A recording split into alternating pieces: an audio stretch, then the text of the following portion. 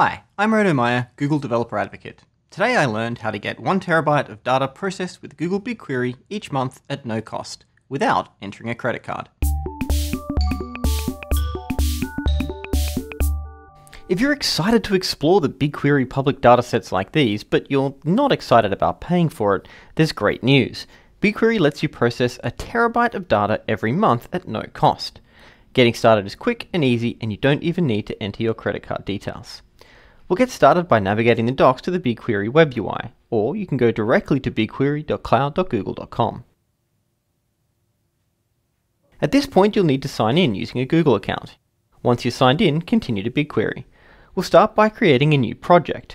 If it's our first one, that means first reading and accepting the terms of service for the Google Cloud Platform. Eventually, we'll want to take advantage of the free trial, but let's dismiss it for now and create our project. You can share data and queries from BigQuery, so make sure you give your project a good name. Once the project's ready, we'll get a notification. Click that and it'll be selected as our active project. We're now done, and we can start running queries. I'm also going to enable the BigQuery API here so that I can run programmatic queries later.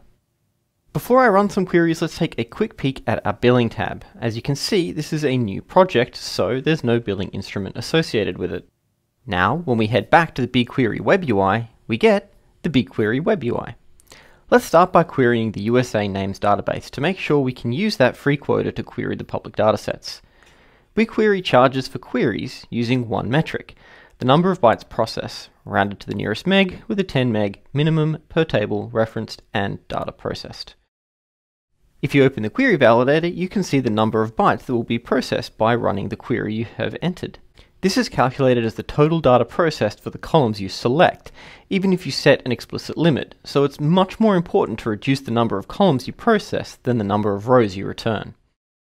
When the query returns, the number of bytes processed is displayed here, and your query log shows the exact number of billable bytes.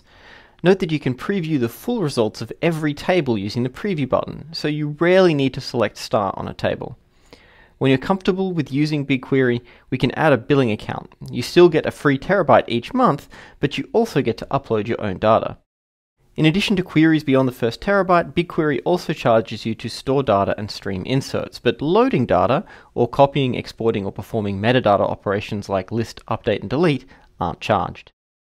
If you're new to Google Cloud Platform, you can take advantage of the free trial. It will let you continue experimenting with BigQuery, still at no cost pricing page here has details on exactly how BigQuery calculates the cost of each query based on the types of data in each column.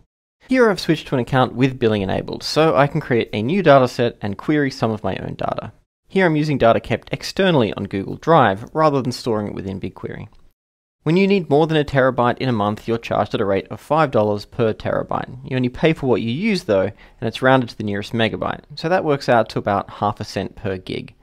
And note that you can set cost controls so that once your credit card has been added, you don't have any unfortunate surprises. Tune in each week to learn more BigQuery tips and tricks. For now, use your terabyte of processing to analyze your own data or use our public datasets to understand the world and create cool visualizations. And don't forget to share them with us using the Today I Learned with BigQuery hashtag. And of course, subscribe to our channel and follow our blog to learn something new with BigQuery.